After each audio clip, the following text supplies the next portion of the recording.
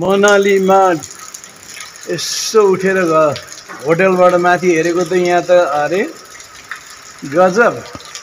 हिउँ परिरहेछ। मजा लाग्यो।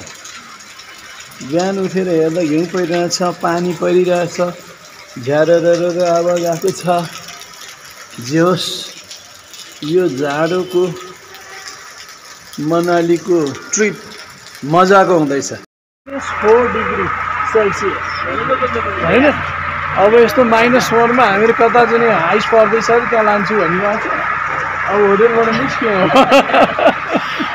अब जाने हो। अब कतै भइरहेको स्नोफल हेर्न जान आँटेको हो। गाडीले लान्छु भनिरहेछ। ल मनालीमा स्नोफल हेर्न जाउँ फेरि। नगर क्यासलतिर हामी जाँदैछौँ। अब मनालीको विभिन्न ठाउँहरू बात करना हाँ। सारा ट्रैफिक बालकनी में सब ठीक है। इतना टाइम लगाने अच्छा हम फोन कर हम बात करेंगे अब यो चिम्नीवाला घरहरू देखेर रमाइलो लागिरहेछ पुरानो कुरो याद। छेउछाउमा पाहाडमा हिउँ छ। यसपालि धेरै पऱ्यो नि छेउैमा पऱ्यो डेढ़ किलोमीटर। यहाँ से ठुल्डाडी अनि यतातिर अलिक फरक टाइपको घरहरू देखिँदैछ क्या नेपालमा पाइने टाइपको। पहिले नेपालमा त्यस्तो थियो अहिले त नेपालमा पनि त्यस्तो खालको छैन। अजिबको लहरावाला रुख रहेछ। ऊ त्यसैको त रहेछ। माथि म्युजियम। घुम्न जाँदैछौँ। ल अब यो आर्ट म्युजियम हेर्न जाँदैछौँ हामी यही मनालीको। टिकट काउन्टर रहेछ यहाँ। यता म्युजियम रहेछ। यहाँ अगाडि देखियो यस्तो। हजुर। आगो ताप्दैछन् कोही ए यहाँ रहेछ नि त ढुङ्गाको आर्ट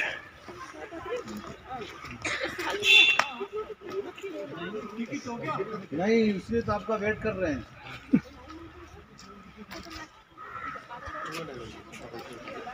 यो ढुङ्गा ढुङ्गा आर्ट गरेको देखियो।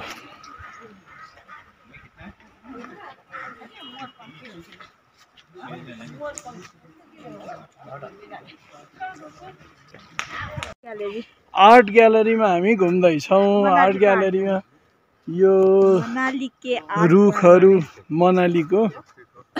मनाली हामी अलिक बढी नै बस्यौँ है।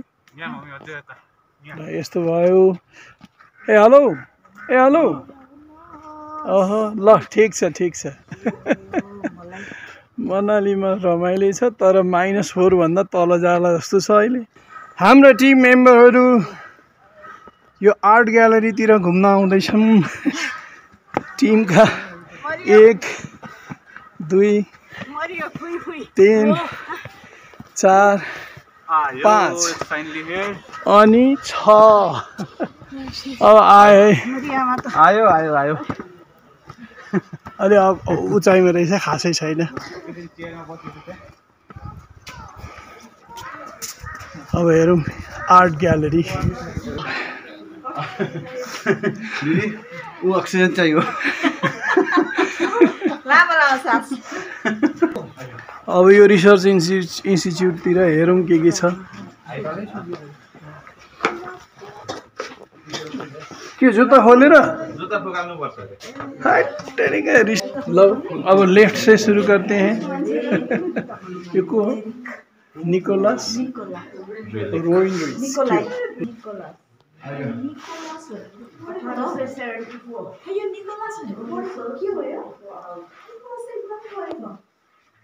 अब मलाई चाहिँ निकोलस कपर्निकस चाहिँ थाहा छ he was first person who told that planet revolve around the sun I think.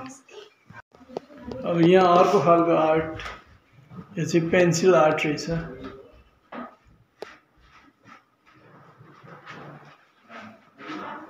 यो हजुर। हजुर यहाँ आर्टहरू पहिला यसो हेरौँ न। अनि यो सबै आर्टहरू यो कसले गरेको?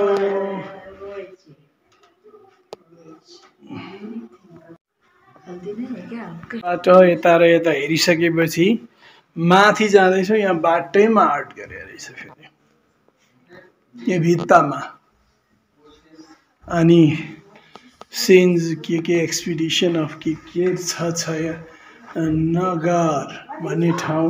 ओह मनाली अनि रोथाङ पास। यहाँको ठाउँहरू विभिन्न ठाउँहरू। गुड एउटा यहाँको विभिन्न ठाउँहरूलाई म्यापिङ गरेर रहेछ क्या यहाँ?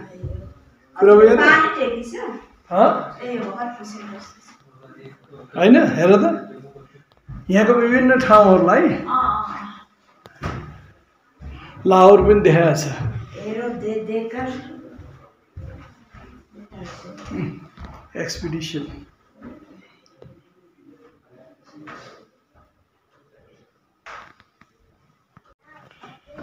अब यताबाट फेरि।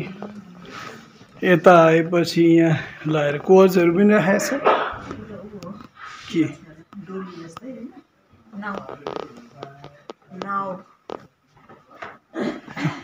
डोली जस्तै रहेछ यता यस्तो गर्ने नाउ होइन डोली नै हो बोक्ने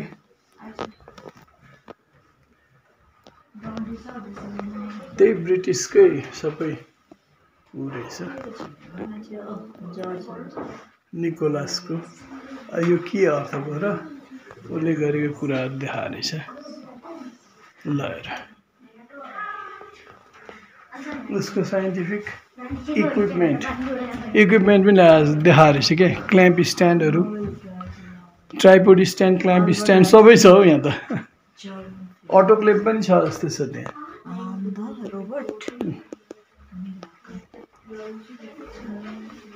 अलिकति साइन्टिस्ट रहेछ नि त माइक्रोस्कोपहरू रहेछ ए पुरै।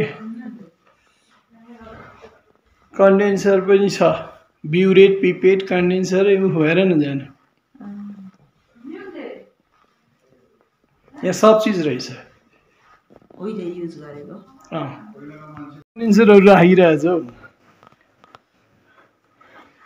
कोनिकल फ्लाक्सहरू यो त्यो बेलाको उसको आफ्नो साइन्टिफिक इक्विपमेन्ट्सहरू राखिरहेछ कि। युज गरेको अँ केमिकलहरू पनि राखिदिएको रहेछ हुँ? कुहिलेहरू शासन सिद्धेपछि त्यही जवाहरलाल नेहरू होइन प्रधानमन्त्री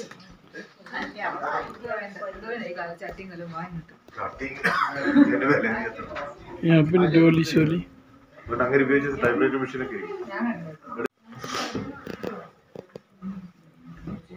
अब म्युजियम हो पुरानो सामानहरू त भइहाल्छ। उनीहरूले युज गरेको हात हतियार पनि रहेछ। त्यतिखेरको बन्दुक।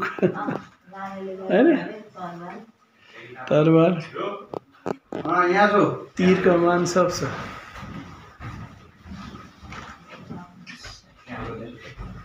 त्यतिखेरको टाइप राइटर त्यो टाइप राइटर त हाम्रो पालामा पनि थियो।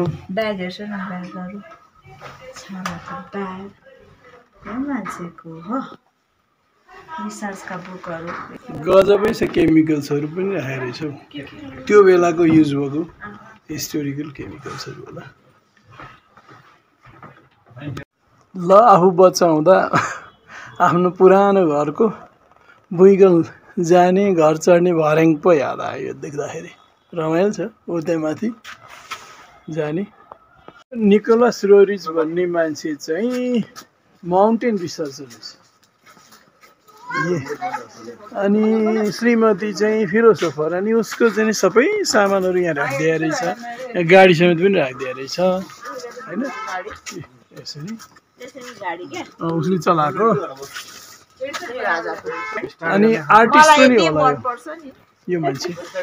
यो रसियन चित्रकार होइन माउ माउन्टेन रिसर्चर भएकोले यसलाई निकै राम्रो मेमोरीमा राख्नुको लागि यस्तो पुरै बनाएको रहेछ नि त। यो फुलबारी सुलबारी पनि गुलाब त होइन यो के भन्छ हेर्नको नि। यस्तो पुरै बनाएको छ। ल international Roerich memorial trust Naggar Kullu art exhibition art exhibition यसरी कस्तो मजाले सूर्य छेकिएको।